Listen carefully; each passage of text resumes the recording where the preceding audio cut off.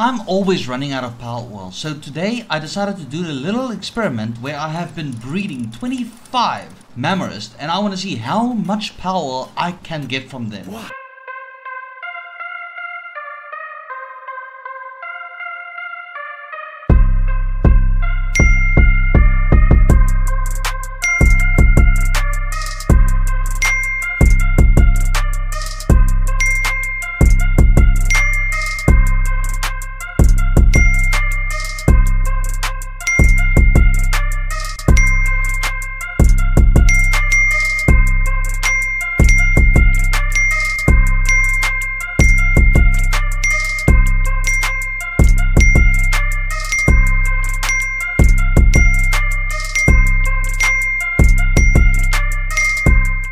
Well, I'm gonna be honest, the results are not that perfect because two, three, or four times the drops actually fell through the floor, so it just disappeared. So let's see how much I did end up with in the end.